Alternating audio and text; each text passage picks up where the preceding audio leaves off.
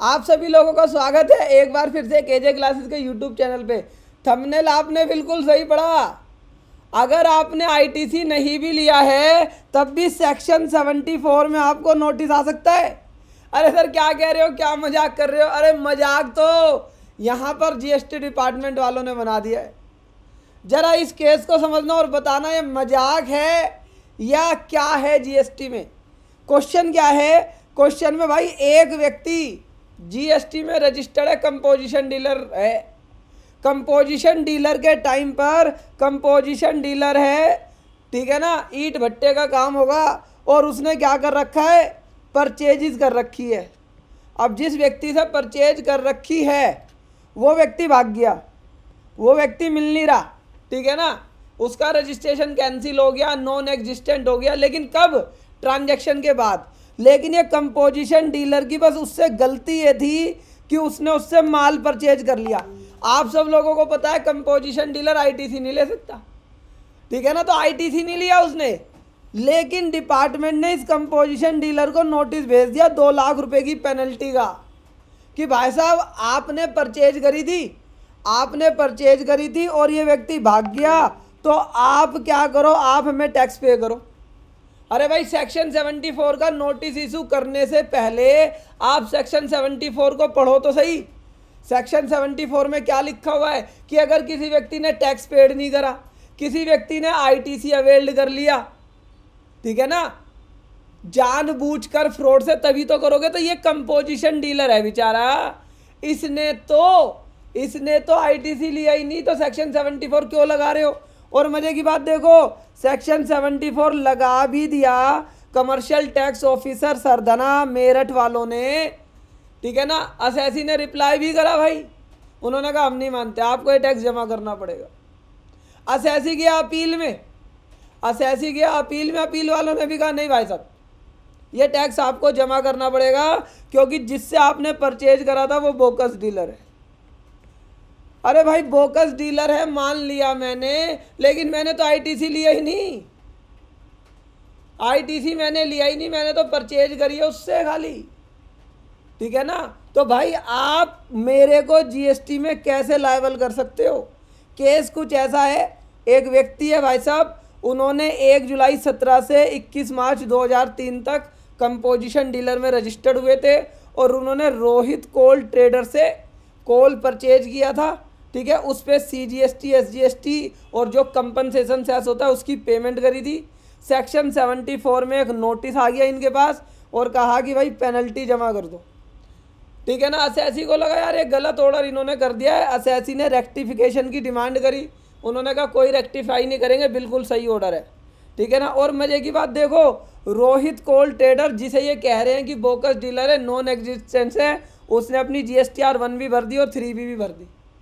G S T R one भी भर दी थ्री बी भी भर दी ठीक है ना? लेकिन डिपार्टमेंट उसे नहीं पकड़ रहा। उसका रजिस्ट्रेशन बैक डेट से कैंसिल करके कह देता है कि इसकी तो कोई लाइबिलिटी नहीं है। बैक डेट से कैंसिल हो गया और जब ये जीएसटी में रजिस्टर्ड ही नहीं है बैक डेट से कैंसिल हो गया तो इससे क्या ले? ये तो बेचारा मासूम है। अरे, ये तो वही बात हो गई। ये तो वही बात हो गई कि तुमने किसी को पकड़ लिया। ठीक है, चोर को पकड़ लिया, किसी को पकड़ लिया, और उसके बाद कह रहे हो मासूम है। भाई, काय का मासूम है? अगर उसने अपनी G S T R one भर दी थ्री बी भर दी, या वन भर दी थ्री बी नहीं भरी तो तुमने उसे पकड़ा क्यों नहीं? तुम रिसीवर के पास क्यों चले गए?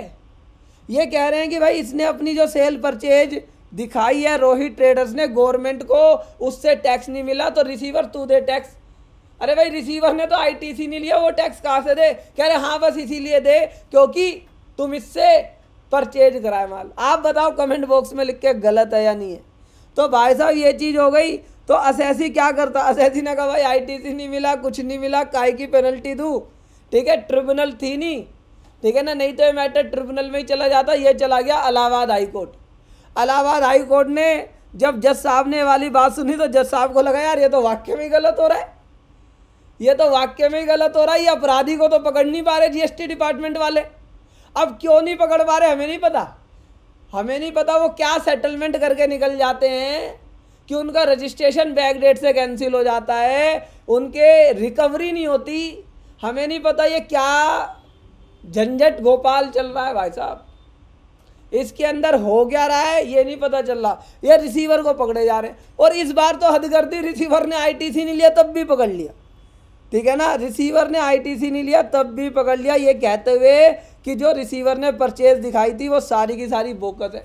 अरे, अगर सारी परचेज बोकस है तो इनकम टैक्स वाले पकड़ते। जीएसटी में तो सेक्शन सेवेंटी फोर लगाने से पहले देखोगे तो सही, इसने टैक्स की चोरी करी कैसे है? अब यहाँ पर हुआ क्या? अब यहाँ पर जब व्यक्ति, ठीक है, अपना हाई कोर्ट में गया हाँ हाई कोर्ट ने बहुत अच्छा डिसीज़न दिया। हाई कोर्ट ने एस के फेवर में डिसीज़न दिया। और डिपार्टमेंट को डांट लगाई कि भाई जब असेसी सारी चीज़ें दे रहा है, tax invoice e way bill G R payment सब चीज़ें वो दे रहा है। ठीक है ना? अब तुम कह रहे हो कि असेसी ये साबित करे, जिस व्यक्ति ने आईटीसी लिया है, वो ये साबित करे कि रोहित कोल्ड ट्रेडर्स सप्लायर ने थ्री बी में टैक्स पे कर दिया है। अरे ये भगवान है कोई। इसे कैसे पता चलेगा? उसकी थ्री बी और उसकी G S T R one G S T के पोर्टल पर है। और जब वो जीएसटी के पोर्टल पे तो है तो तुम उसे चेक कर सकते हो। हम कैसे चेक कर ले कि उसने टैक्स पे करा या नहीं करा? तो हाई कोर्ट ने इस बात को समझा और उन्होंने कहा, भाई साहब, ये ऑर्डर जो आपने करा, ये बिल्कुल बेकार है। ठीक है ना? आपको इस तरह का पेनल्टी का ऑर्डर नहीं करना चाहिए था और इस ऑर्डर इस केस को वापस भेज दिया। अब इस कहानी से हमें क्या शिक्षा मिलती है? इस जजमेंट से हमें क्या शिक्षा मिलती है? इस जजमेंट को आप अपने फेवर में यूज़ कर सकते हैं। कि भाई अगर सेक्शन सेवेंटी फोर में कोई व्यक्ति भाग गया, कोई कुछ हो गया, ठीक है ना, और उसकी थ्री बी और वन फ़ाइल है, वो रखी है तो हम नहीं है भाई जिम्मेदार टैक्स देने के लिए। तुम्हारे पोर्टल पर वो चीज़ें तुम देखो।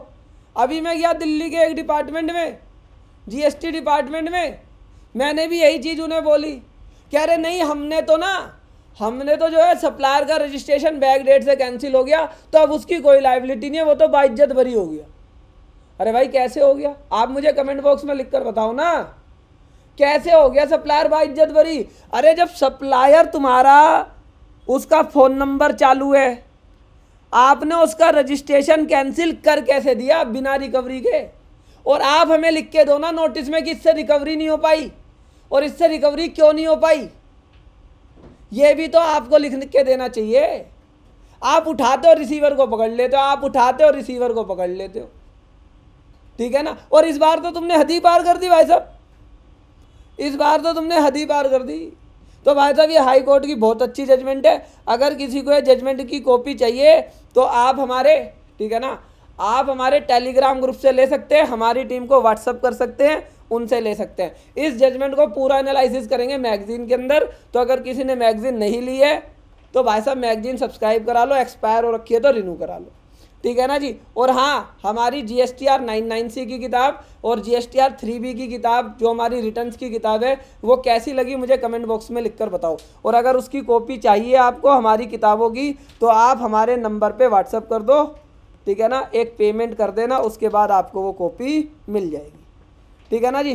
तो इस तरह की जजमेंट अगर आपको पढ़नी है, समझनी है तो आप हमारा ठीक है ना? ऐप डाउनलोड कर सकते हैं, उसके अंदर फुल कोर्स है, दिवाली का डिस्काउंट चल रहा है, फटाफट से जाकर ले लेना।